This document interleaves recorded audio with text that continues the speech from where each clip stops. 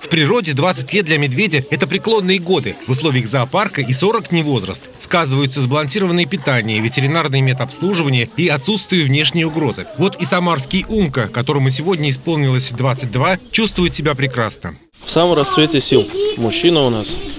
В обычные дни рацион Умки составляют каши с мясом, ягодами и рыбой. Очень любит яйца, может съесть сразу 20 килограммов еды. И только в день рождения ему позволено немного сладкого в виде двух тортиков. Сладости медведи любят, но для здоровья это медвежья услуга, тем более зимой, когда вес хозяина тайги далеко за 300. Тортики Умка поедает в полудреме, но в окружении гостей, которые собрались его поздравить.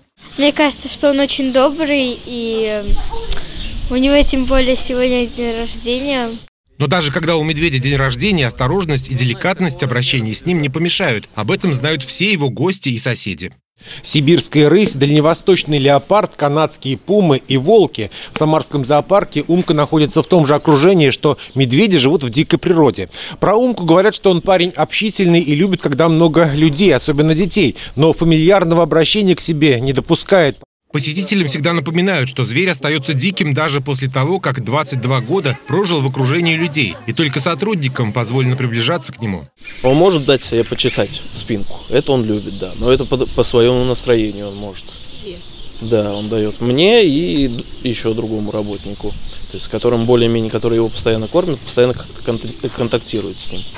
Вот, а в остальном достаточно внешне неповоротливое животное, но когда надо, может быть резким, и с ним надо быть ухо востро держать.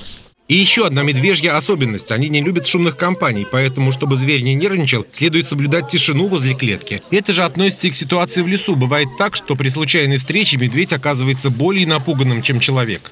Медведя можно отпугнуть, ну вот в Абхазии, вот восточных странах, там медведи не крупные, и если медведь попадется вдруг неожиданно, надо очень сильно шуметь, кричать, э, визжать, топать, махать руками, медведи пугаются и убегают.